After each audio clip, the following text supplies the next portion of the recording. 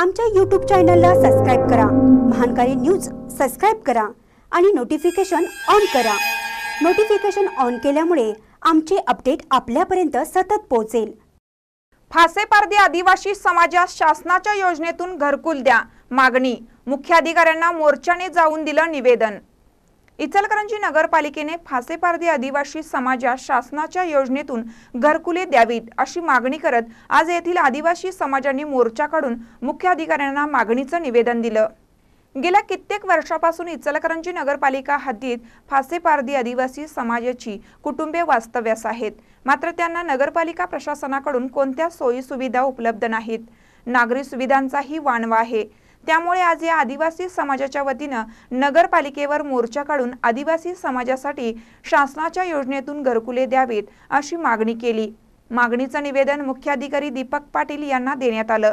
यावेळी समाजाचे मोहन काळे जीवा चव्हाण लिंगापा चव्हाण गोपाळ चव्हाण आदींसह मोठ्या प्रमाणात समाजातील स्त्री पुरुष उपस्थित होते. महानकर न्यूजसाठी इचलकरंजीहून दत्तात्रय कदम.